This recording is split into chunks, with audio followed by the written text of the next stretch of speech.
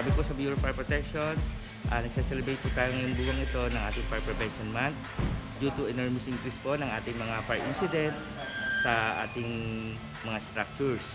Kaya po, ina-aware po namin ng publiko, kaya po kami kakaroon ng mga fire safety lectures, drills, at saka mga OLP on the road para ma-aware po natin ng community po sa pag-iwas po sa sunog ay hindi po kayo nag-iisa. Kasama niyo po kami. Maraming salamat.